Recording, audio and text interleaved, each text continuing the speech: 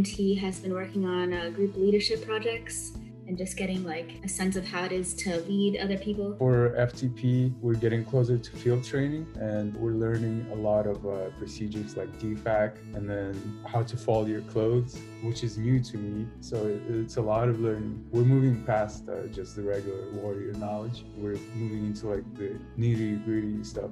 I'm the IG deputy this semester, and a part of the standards team, we've created the IG Patrol to observe cadets in terms of their standards, which could include their hair, if they're unshaven, they have their collar and it's uneven or stuff like that. We each take a group and mark any observances we have seen and that's all I do. I just go through and make sure every cadet that's in the group that I'm inspecting for that day is within standards. And if they're not, then I mark it on that sheet. So this past month, we've been doing EAD presentations. They're these finance planners where we just kind of pretend that we're going to go somewhere for our EAD and just budget the entire way through.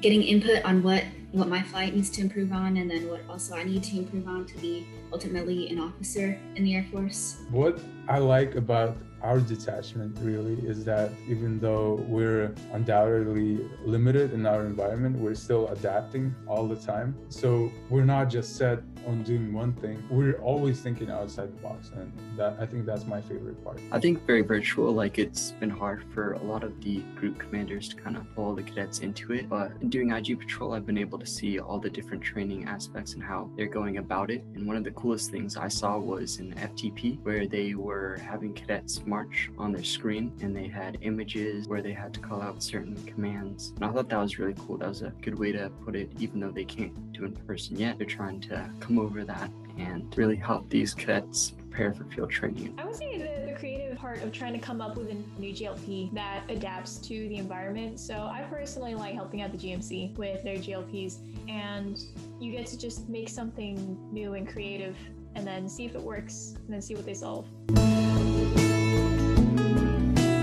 AS class, we just finished up the intro briefs and then I think our first real lesson was about social media in the Air Force and the do's and don'ts of like what you should and shouldn't post on social media. In our AS 200 class, we're learning about leadership, the leadership styles. It's important to be aware of your own personality so you can effectively work with others, know your weaknesses, and uh, it's a lot of uh, self-development from what I see. It's really helpful, not only for ROTC, but outside.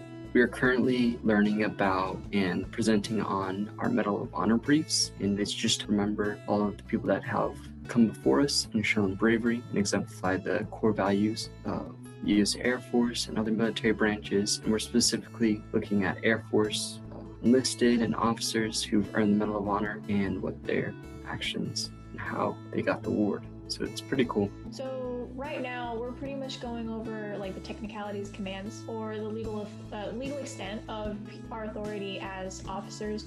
So more so like what can we actually do and what we're not allowed to do um, when we actually get put in command or work under someone, things like that.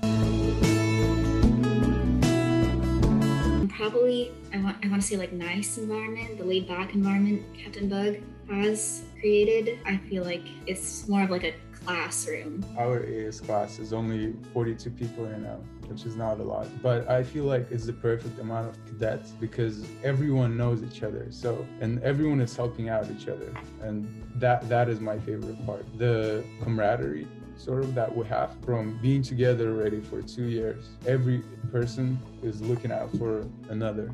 The people, just because I've been with them since last year, and it's been great to see them develop as leaders. And they're always funny, and it's just feels like a family. If I'm going to be completely honest, it's just going to class with all your friends because you know everyone within your class. So it's a really good learning environment, which I like. So I like all the case studies. I like anything where it's um it's integrative and stimulating. So we get put into these situations, or we're given these prompts where it's a very complex problem, or rather, it starts off somewhat simply and then it builds on to multiple complex layers of an onion because we know that's how people are. And in real life, it's not going to be one problem, it's probably going to be a series of issues that either escalate or de escalate. So we're thrown into case studies that pretty much answer or force us to answer and think about and reason um, how to navigate a complex issue.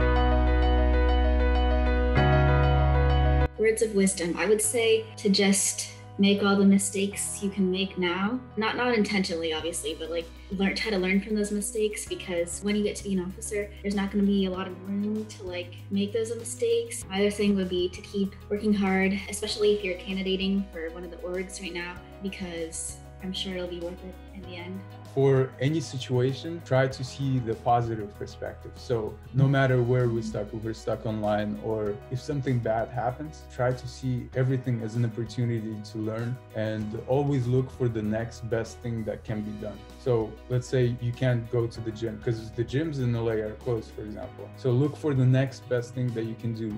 Work out at home, try to implement new ways, be creative. So that that is my advice. Here's something I told cadets in my flight last semester, and I think this is a great piece of information to have, is to be the leader who you want to be, not the leader who you think you should be. So that's something I'd say.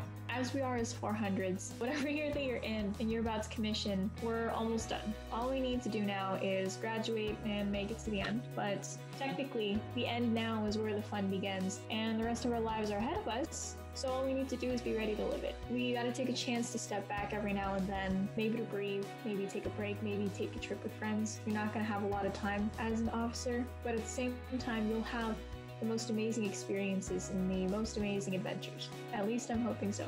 We just need to be very open to all the opportunities that we can get and just shoot for it.